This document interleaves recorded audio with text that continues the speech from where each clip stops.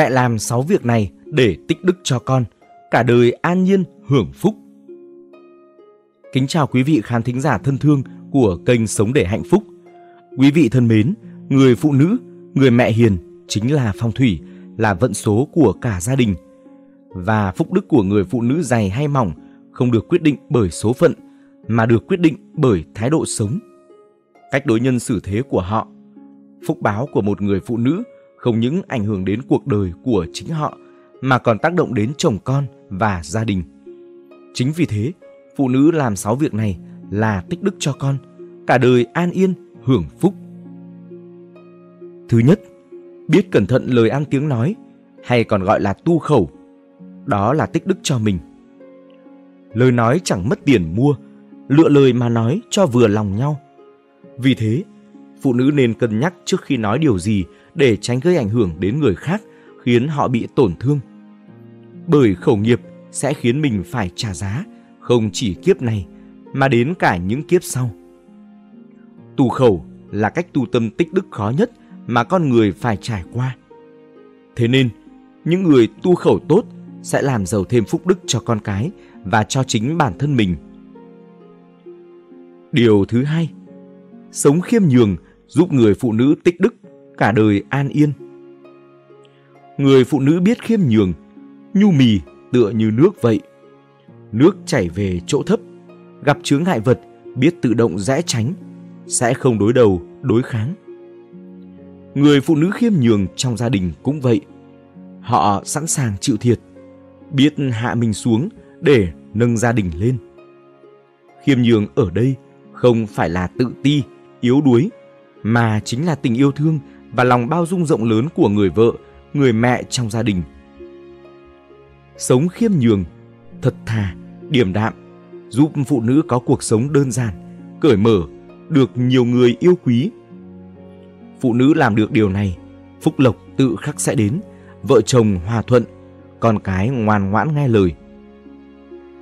Thứ ba đó là sống khoan dung, vị tha. Từ xưa tới nay, lòng khoan dung, độ lượng, vị tha luôn được mọi người đề cao. Ông bà ta có dạy rằng, một điều nhịn, chín điều lành cũng là vì thế. Bởi lòng khoan dung luôn đem đến những điều tốt lành cho cả người tha thứ và người được thứ tha. Khoan dung là yếu tố quan trọng làm nên hạnh phúc gia đình.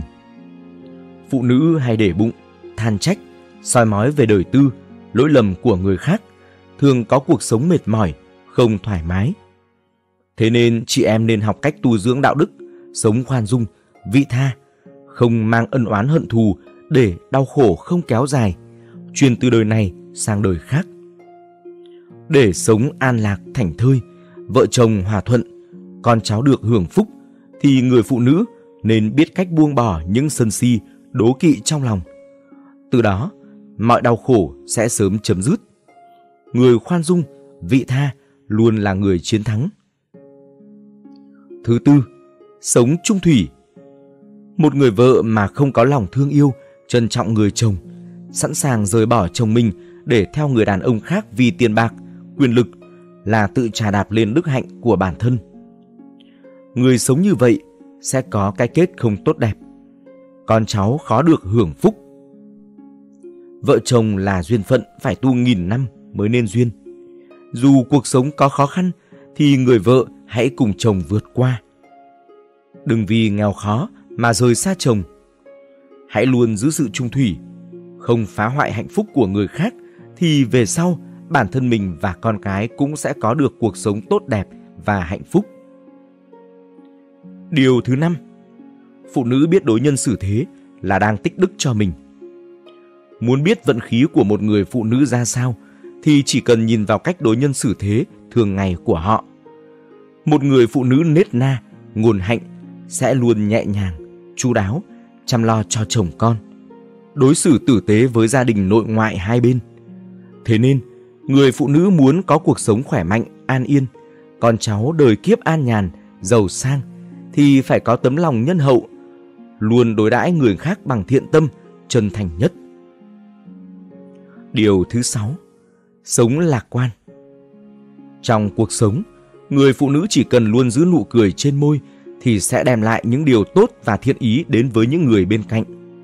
Dù cuộc đời có gặp bất cứ khó khăn, vất vả nào thì phụ nữ hãy luôn giữ tâm thái lạc quan, cố gắng vượt qua, suy nghĩ tích cực để tâm hồn thư thái. Một lối sống lạc quan và suy nghĩ tích cực là cái mà chúng ta hoàn toàn có thể tạo ra được. Và chỉ những ai làm được điều đó thì mới có thể hưởng thụ sự an nhiên và hạnh phúc trong cuộc sống. Người phụ nữ lạc quan luôn có sức hút kỳ lạ với người khác bởi vì họ truyền được luồng sinh khí tích cực khiến những người xung quanh cũng cảm thấy vui vẻ, yêu đời hơn. Người mẹ, người vợ trong nhà luôn là chỗ dựa tinh thần cho chồng con, làm động lực cho họ trong cuộc sống. Có như thế, hôn nhân mới bền lâu, con cái mới trưởng thành và cả đời hạnh phúc, an yên. Quý vị thân mến, bên cạnh 6 việc làm tích đức cho con cháu thì phụ nữ biết nâng niu ba điều này, gia đình sẽ luôn hạnh phúc, chồng con được nhờ cả đời. Người phụ nữ chính là phong thủy quan trọng nhất của một gia đình. Một gia đình hạnh phúc, yên bình, con cái có thể thành tài, có liên quan chặt chẽ tới việc người phụ nữ xử lý công việc trong gia đình và đối xử với chồng, với con như thế nào. Một gia đình có yên vui hay không, an tĩnh hay không, thịnh vượng phát đạt hay không, thì sự ảnh hưởng của người vợ là vô cùng trọng yếu. Thứ nhất, làm tròn vai trò của một người vợ. Một gia đình hạnh phúc là khi người phụ nữ biết quên mình để trở thành người vợ thủy chung, son sắt. Một người vợ luôn hiểu rõ chồng mình, đồng cảm với chồng về tư tưởng, về đời sống tinh thần và con đường sự nghiệp. Người chồng nhờ sự dịu dàng của người vợ, sự ấm áp của gia đình sẽ làm việc chăm chỉ hơn để lo cho cuộc sống gia đình được tốt hơn.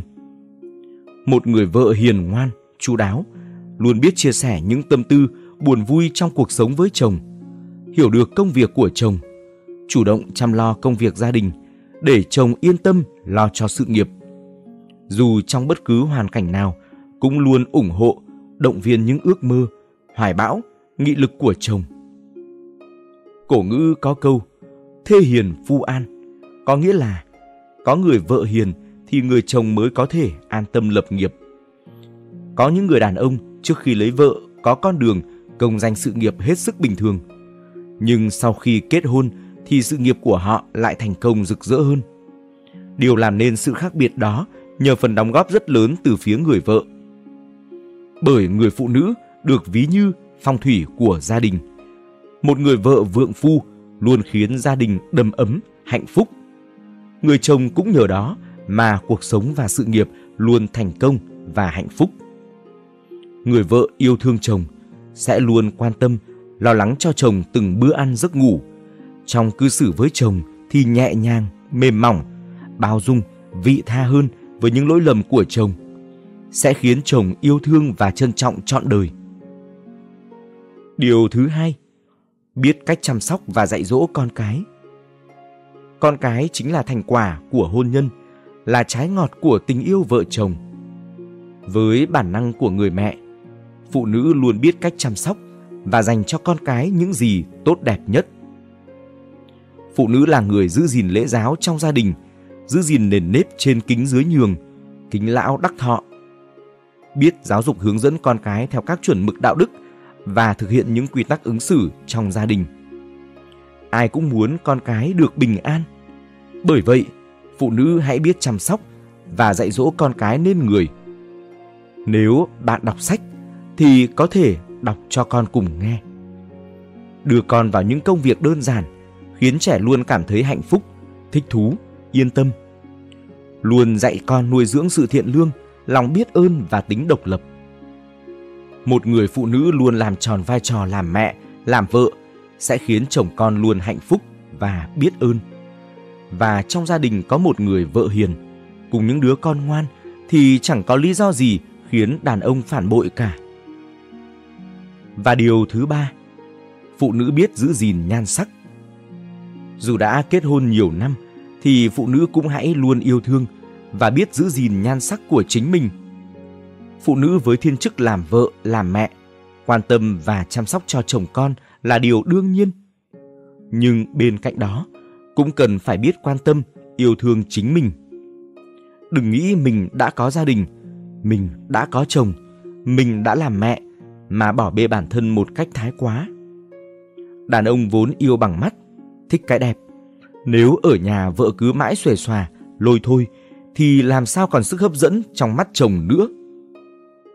Vì thế, đừng bao giờ vì những bộn bề, lo toan của cuộc sống mà quên yêu bản thân, chăm sóc cho sắc đẹp và sức khỏe bản thân mình.